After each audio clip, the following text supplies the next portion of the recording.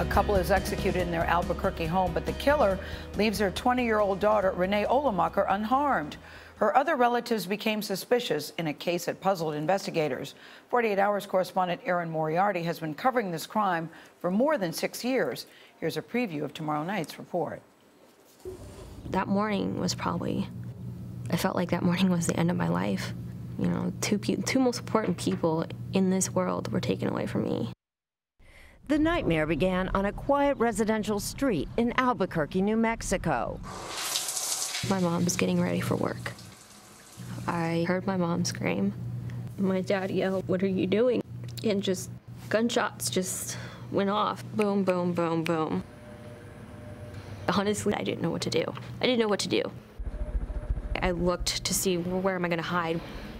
So I just went into my closet, turned on my cell phone, dialed 911. This is 911. Where is your emergency? My parents, oh I think they were shot. I'm hiding in the closet. I'm scared. By the time police arrived, Renee's parents, Greg and Bernadette Olamacher, were dead. Only Renee survived unharmed. My parents were probably the greatest parents ever. Renee, is it your position that your parents were probably the greatest parents ever? Beyond the greatest parents ever. At the murder trial, Renee was forced to revisit her most private moments when a defense lawyer asked her to read from her diary. My mom reminds me of astrological sign Gemini. Two-faced, good for nothing. I hate my dad. I really don't know how much more I can take before someone makes me explode. She may have not pulled the trigger, but I have no doubt she had everything to do with this. Amazingly, Renee's entire family believes she was somehow involved in her parents' murder. For months, Renee was the prime suspect. Put your arm straight out in front. Eventually, she took a lie detector test. Do you know for sure who shot your parents? No. Do you know who shot your parents in their bedroom? No. The bottom line is Renee couldn't pass a polygraph. But Renee Olamacher is not the one on trial. Enough about Renee. We're going to put the focus back where it belongs, back on the defendant. After almost a year, investigators have found what they thought was hard evidence tying a surprising suspect to the cold blooded murders. His name, Ron Santiago. He was the mortgage broker for the refinancing of my parents' house. I was like, what? What are you talking about? State, you may call your next witness. Erin Moriarty joins us at the table, the mortgage broker. What would this, be the motive? This is really a first for me, and I think this is why we worked on this case for so long.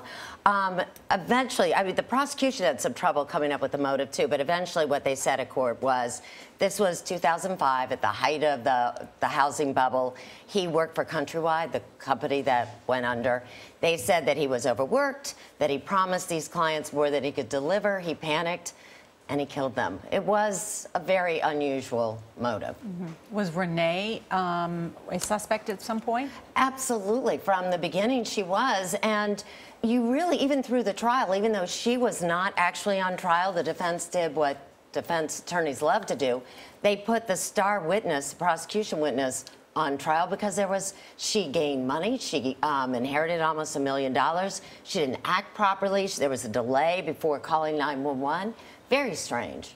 So you interviewed the defendant twice, and then part of the interview was used in the trial. Did they regret allowing you to do that? What's interesting is I always worry about that when we do these, but no, the defense actually liked the idea that the jurors could see him, but then the prosecution couldn't cross-examine it.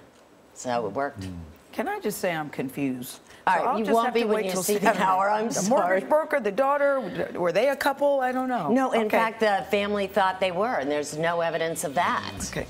Saturday night, all will be revealed. Thank you, Erin Moriarty.